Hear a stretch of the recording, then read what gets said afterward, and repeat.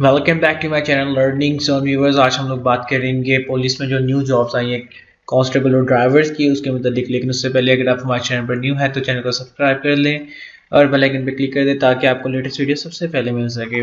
آپ نے کرنا کہ آپ نے گوگل پہ جانا ہے اور جابس ٹوئنٹی فور پی کے لکھنا ہے اور جو نیو ہی جو سب سے پہلے لنک آئے گا آپ کے سامنے، آپ نے اس لنک کو اوپن کر لینا ہے۔ اور کچھ اس طرح سے آپ کے سامنے پیج آ جائے گا، ٹھیک ہے؟ آپ ہم لوگ جس کے متعلق بات کریں گے وہ یہ ہے جی thirteen thousand plus police jobs for constable male and female ٹھیک ہے؟ اس لنک پہ کلک کریں گے تو یہ پیج آپ کے سامنے ہو جائے گا۔ پبلش ڈیٹ جو سی اس ایڈورٹائزمنٹ کی ہے وہ ٹوئنٹی سیون جنوری تھی۔ لاسٹ ڈیٹ جو اپلائی کرنے کی وہ ہے فیبرری ففٹین ٹوئنٹی ٹوئنٹی جو ایجوکیشن ریکوائرڈ ہے وہ میٹرک اور انٹرمیڈیٹ ہے۔ جینڈر میل اینڈ فیمیل دونوں اپلائی کر سکتے ہیں۔ ریکوائرڈ ایج اٹھارہ سے لے کے اٹھائیس سال تک ہے۔ ٹوٹل پوزیشن جو سی ہے وہ جی تیرہ ہزار پلس ہے اور ریجن جو ہے وہ سندھ، پاکستان یعنی کہ سندھ کے لوگ اس جاب کے لیے اپلائی کر سکتے ہیں۔ کانسٹیبل وائلٹس کے لیے اگر آپ نے انٹرمیڈیٹ کے لیے تو آپ لوگ اپلائی کر سکتے ہیں اور ڈرائیور کے لیے کانسٹیبل ڈرائیور کے لیے اگر آپ نے میٹرک کیا اور آپ کے پاس L T V driver licence ہے تو آپ لوگ اپلائی کر سکتے ہیں جاب کے لیے۔ یہ فزیکل فٹنس ہے مین کے لیے اور ویمن کے لیے۔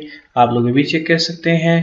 پولیس کانسٹیبل کا جو اسکیل ہے وہ بی پی ایس فائیو ہوگا لیڈی پولیس کانسٹیبل کا بھی فائیو ہوگا کانسٹیبل ڈرائیور کا بھی فائیو ہوگا۔ یہ چیز پریس ریلیز ٹائپ کی یعنی کہ ایڈورٹائزمنٹ کر لیں آپ لوگ یا پریس ریلیز کر لیں، ٹھیک ہے؟ یہ آپ لوگ چیک کر سکتے ہیں۔ اور کس کس ڈسٹرکٹ سے آپ لوگ اپلائی کر سکتے ہیں اور کتنی اس کی سیٹس ہیں، یہ بھی آپ لوگ چیک کر سکتے ہیں۔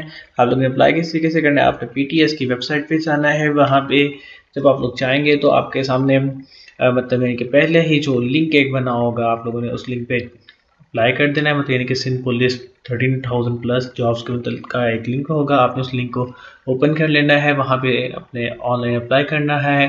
اس کے بعد جو ڈپازٹ سلپ ہے، آپ نے اس کو نکال کے یعنی کہ پرنٹ نکال کے اس کو فیس سبمٹ کروانے کے بعد ان کے ڈاکومنٹس جو بھی ریکوائرڈ ڈاکومنٹس ہیں، وہ ان کے پتے پر بھیج دینے ہیں۔ مطلب پی ٹی ایس کے پتے پر بھیج دینے ہیں۔ ٹھیک ہے جی یہ دیجیے آج کی update related to new jobs in police اگلی ویڈیو تک کے لیے اللہ حافظ، خوش رہیے، خوش رہنے دیجیے